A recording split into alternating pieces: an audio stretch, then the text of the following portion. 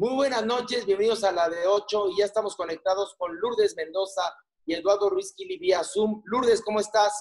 Muy bien, muchísimas gracias. Muy buenas noches a todos. Qué gusto una semana más estar con ustedes. Eduardo Ruiz Kili, ¿cómo estás? Aquí ya llevo, voy para cuatro semanas de estar, de estar, punto, de estar. Muy bien, me parece perfecto. Ahora, ¿con qué nota van a competir esta noche o con qué nota van a discutir? Lourdes.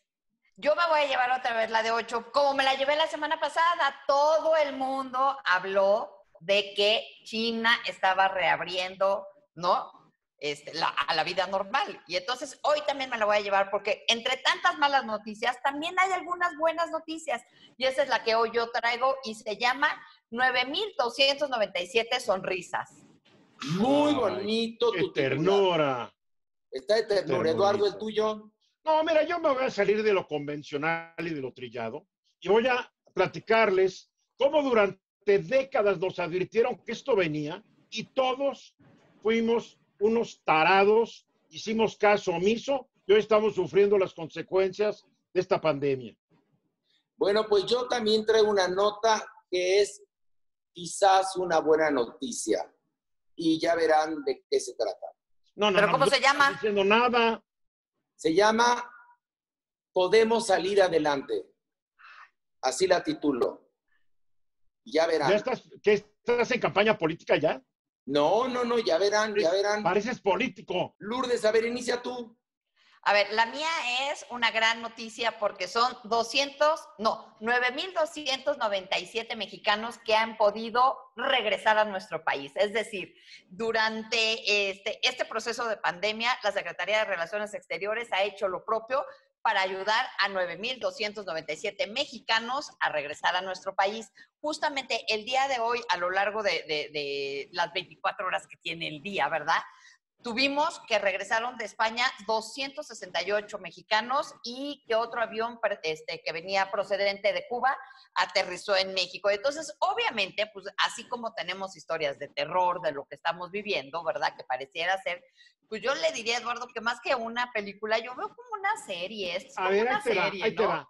En otros países, cuando llegan los conacionales de un país altamente infectado por el coronavirus, los mandan a la cuarentena o sea, los mandan a la cuarentena porque para empezar no hay ni cómo verificar si vienen con el COVID o no.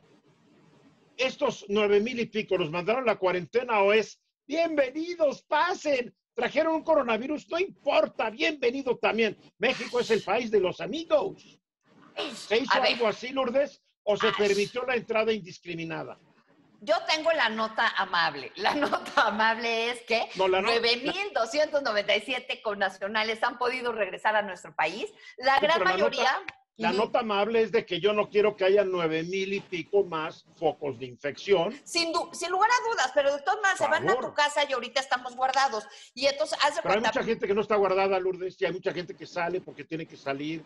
O sea, los que tenemos el privilegio de poder eh, mantenernos de alguna manera encerrados, sí, pero somos, la, digo, hay millones de mexicanos que tienen que salir. Déjame decirte un dato interesante y que, e, y que es verídico. Hay una aplicación, yo no la conocía antes, hasta antes de la cuarentena, que servía para eso y, se, y que se llama City Mapper. Y entonces lo que dices en el City Mapper es en todo el mundo, ¿no? Le dices en dónde estás y a dónde vas y te dicen pues cómo puedes llegar en metro, en camión, en coche o caminando. Pero, e, o sea, si tú te metes a la aplicación, tiene abajo una que se llama CMI. Este CMI significa cuál es la movilidad que tienen los países. Y déjenme decirle que la movilidad que hoy este, registró México fue del 13%. Déjame contarte que justamente este martes el subsecretario de Prevención y Promoción de la Salud, Hugo López Gatel, dijo que la movilidad urbana en el Valle de México se redujo un 70%, lo que contribuyó a disminuir los casos de contagio de coronavirus, lo cual es una buena noticia. Quiere decir que de alguna manera la gente ha tenido conciencia y ha decidido no salir de su casa y eso ha reducido el índice de contagio. Tal vez lo deberíamos haber hecho semanas antes. Hoy le están reclamando a Donald Trump en Estados Unidos que se perdió un mes porque no lo hicieron antes, pero en fin, siempre más vale tarde que nunca, yo estoy de acuerdo, más vale tarde que nunca. Y bueno, por lo menos lo estamos haciendo. Mi noticia es eso, ¿no? O sea, tenemos 9.297 mexicanos que lograron regresar y tenemos historias este, espectaculares. Hay una, déjenme nada más platicarles rápido. No, ya, ya, ya, si no, no vamos a acabar nunca, porque Horacio no ha dicho nada. Yo me muero de ganas de oír la nota de Horacio. A ver. Bueno, justamente, justamente mi nota es sobre eso, que gracias a que la gente tarde o temprano, como tú lo quieras decir, tomó conciencia y se redujo un 70% la movilidad en la Ciudad de México, lo cual evitó que se generaran más contagios. Ahora, no toda la Ciudad de México, no, no olvidemos que este país es muy grande, porque siempre que hablamos en muchos de estos programas, parece que vivimos en la Ciudad de México y se nos olvida que acá hay 20 millones, pero hay otros 100 millones afuera de la Ciudad de México. 110. No, acá hay, acá hay un problema que también puede empezar. en algunas ciudades siguen saliendo. La enfermedad se ruralice. Al momento que llegue al ámbito rural, es cuando va a haber un descontrol espeluznante. Esto es muy importante, ¿eh? Pues sí. ¿Qué va a pasar cuando llegue a las rancherías o a los pueblos donde no se están cuidando? Ya está llegando, mira, ya está llegando. Yo tengo noticias de pueblos muy chiquitos en Oaxaca que ya tienen casos de COVID-19. Bueno, pues pueblos chiquitos, donde te tardas horas en llegar por camión desde la Ciudad de México sin pasar por la Ciudad de Oaxaca, porque está muy lejos de la Ciudad de Oaxaca. Ya hay casos ahí y no hay hospitales y obviamente menos hay ventiladores, pero bueno, así es esto. No se puede negar que es una situación difícil en todo el mundo. Oye, ¿por qué dices que Hollywood nos, nos este, avisó y nosotros no hicimos caso? A ver, a ver, ¿a poco no estamos viendo como en una película de estas de ciencia ficción? Estamos encerrados en nuestras casas, salimos, nos ponemos máscaras, nos ponemos careta, nos ponemos... En serio, esto es como de película de ciencia ficción o peor, película de terror. La verdad.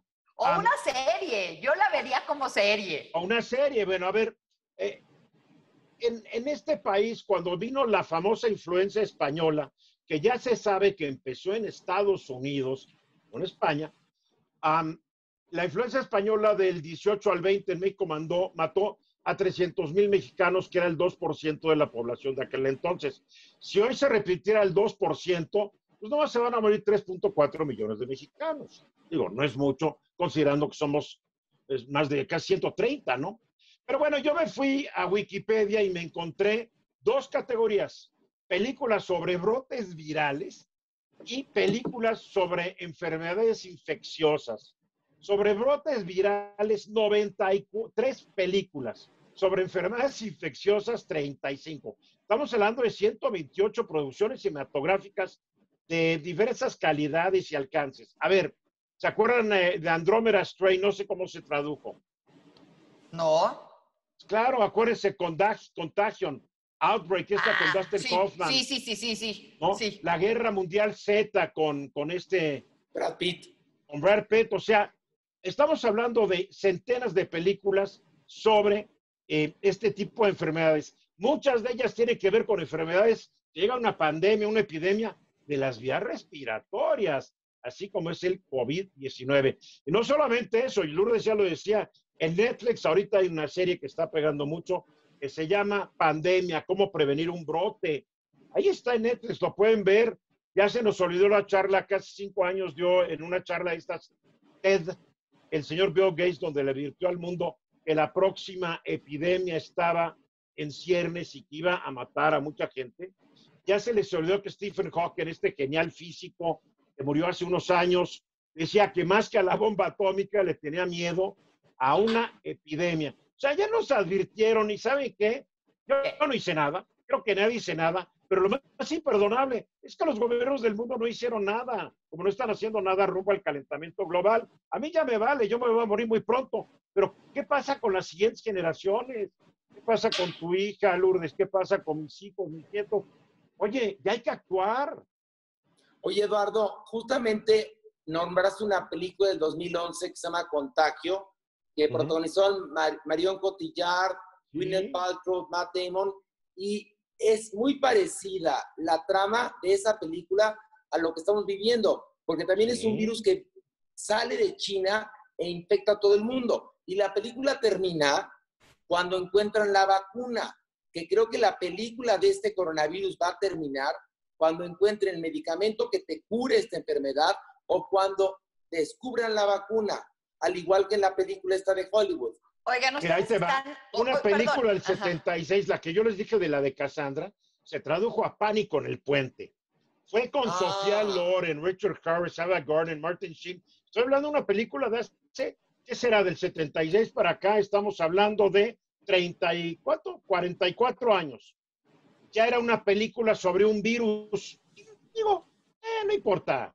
Ustedes están muy sofisticados. Yo, la neta, yo me acuerdo del santo contra las momias, o, eh, o sea, yo diría que esto es así como las momias contra los zombies, una cosa Bueno, muchas de las películas de zombies, porque, Exacto, un zombie muerde a una persona y le infecta un virus y te vuelve zombie.